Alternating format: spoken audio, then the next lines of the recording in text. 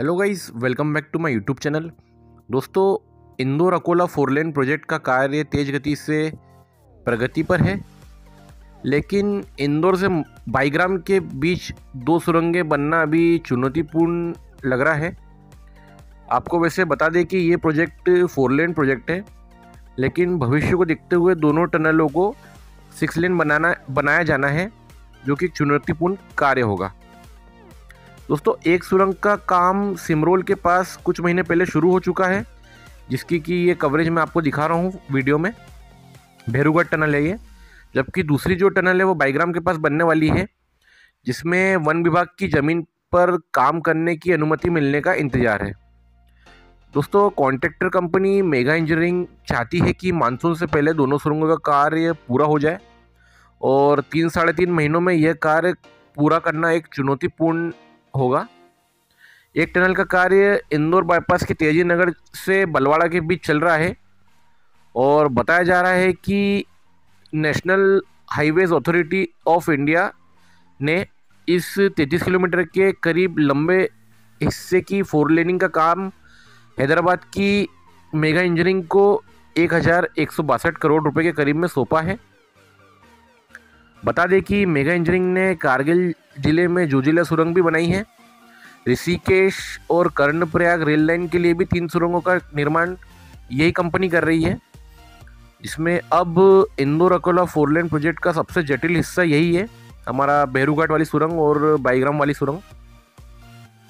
जहाँ पर ऊँची ऊँची पहाड़ियों को काटकर नया नेशनल हाईवे बनाया जा रहा है। फोर लेन हाईवे और सुरंगें बनाने के बाद भेरूघाट के घुमावदार और तीखे मोड़ वाला रास्ता खत्म हो जाएगा। साथ ही गाड़ियाँ आराम से आ जा सकेंगी। घाट चढ़ सकेंगी एवं घाट को उतर सकेंगी। सिमरोल और भाईग्राम की सुरंग लगभग 400 मीटर के करीब लंबाई की होंगी। एनएचआई अफसरों का कहना है कि Indore Akola highway four lane road के अनुरूप 100 किलोमीटर प्रति घंटे की गति के हिसाब से डिज़ाइन किया गया है। मेगा इंजीनियरिंग के प्रोजेक्ट मैनेजर ने बताया कि बारिश से पहले दोनों सुरंगों को बन, बनाकर तैयार करना है।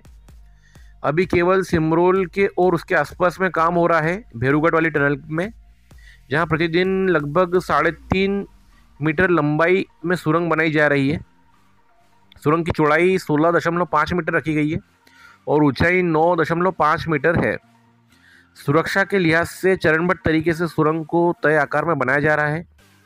आसपास बसावट भी है, इसलिए ब्लास्टिंग का काम दिन में ट्रैफ़िक रोककर करते हैं।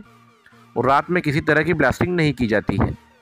बाईग्राम सुरंग का काम भी जल्द शुरू होने की उम्मीद है। दोस्तों, इस न्यूज़ से ये बात साबित होती है कि मेगा इंफ्रास्ट्रक्चर जो है, वो कंपनी इस काम को जल्दी करने के मूड में है। ये बात अच्छी है कि काफ़ी अच्छी गति से ये लोग कार्य कर रहे हैं, क्योंकि इनको भी मालूम है कि जो अभी मानसून आएगा तो वो दो तीन महीने इनको काम करने में दिक्कत होगी और जो कार्य प्रगति रहेगी, वो भी इतनी मतलब जो प्रोग्रेस रहेगी वो भी कुछ ज़्यादा अच्छी गति की नहीं रहेगी।